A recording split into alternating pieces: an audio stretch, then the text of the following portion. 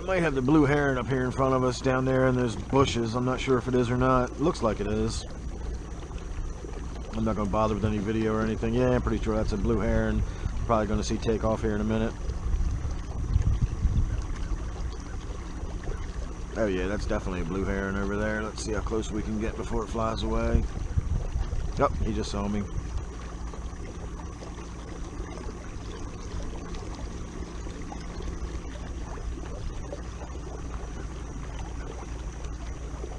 He's not sure what to do.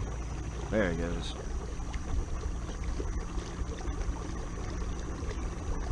And he landed right out in front of us, so we'll go have another look at him.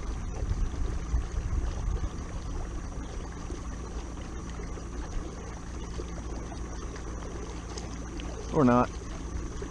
But he's just going down, landing in a tree right there, so let's keep going, see if we can get another look at him. I was actually going to stop and fish a little bit through here, but since we've got this heron sort of making its way down in front of us, let's go have another look.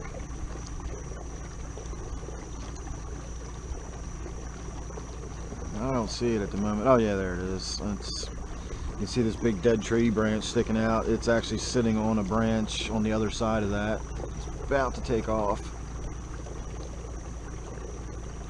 There it goes. See if this time it doesn't go nice and far away. Nope, it's just going to go right down there and land. So let's keep on following it.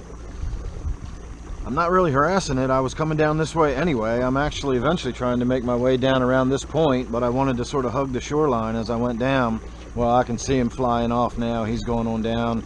Uh, I'm still going to run into him again, but he's up in the treetops now, so we'll wait and see once we get a little closer, see what he does.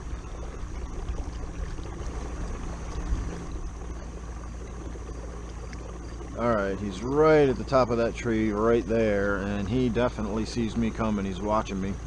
So let's see if he feels safe that high up in a tree, or if he still feels compelled to fly away as we get closer. I'm guessing he's going to fly. Yep, he's there he goes.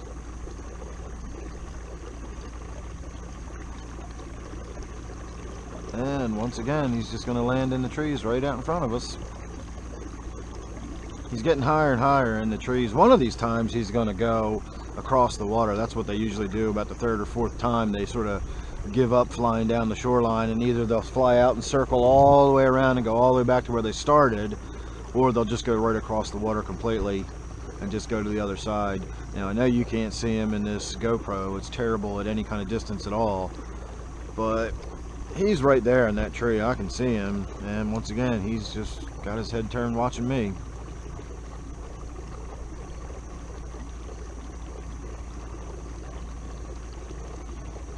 Think once again he's going to take off and fly.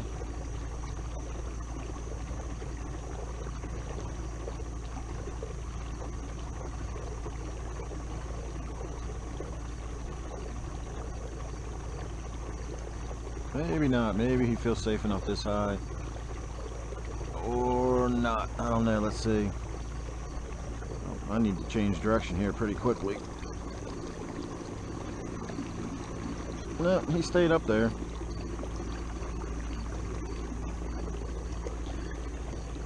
Alright, like I said, I'm not going to keep hassling him. I was on my way down this way, so he stayed in the tree. We went on past, so I'm going to continue on down.